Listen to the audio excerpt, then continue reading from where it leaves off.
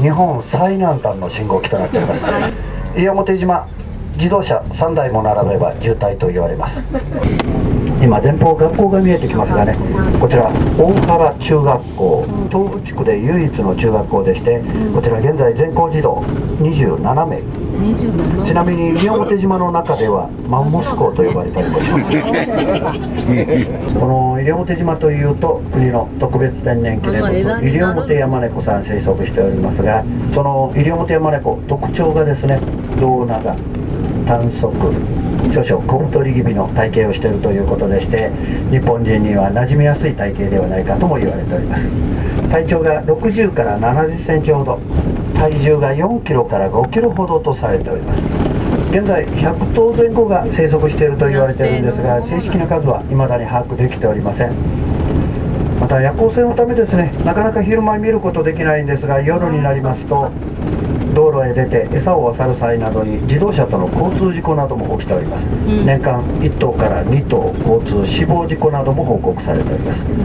ただ今年はねすでに6頭の交通事故そのうちの4頭が交通死亡事故ということで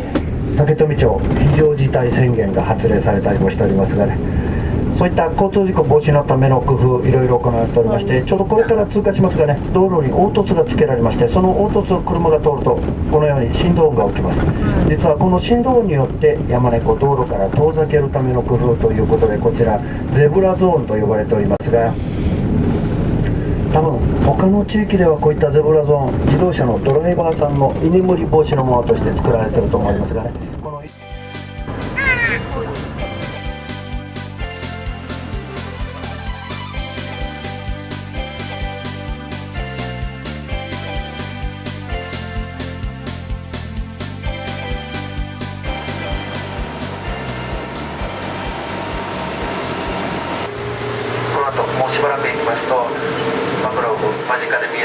りますのでその辺りまでもう一度しばらくスピード上げていきたいと思います。たまに勘違いする方がいらっしゃいますがこの中にマングローブと名前の付く木は一本もありません。マングローブとは海水と淡水が混じり合います。汽水域に生育している木を総称しましてマングローブと呼ばれております。比較的まとまったような感じの根っこ。こちら竹ぼうきのような感じの根っこをしております。これおひるぎという種類になりますがね。でしたがねこちらは人が膝を曲げた形に似ているということで膝の根と書きまして新根と呼ばれております。このこちらで一つ皆さんに残念なお知らせ。実はこのボートブレーキがついておりません。ですので桟橋へぶつけて止めます。実はねボートには前進とバックしかないんですよね。そういったことからぶつけて止めることになるんですがなるべくソフトにぶつけます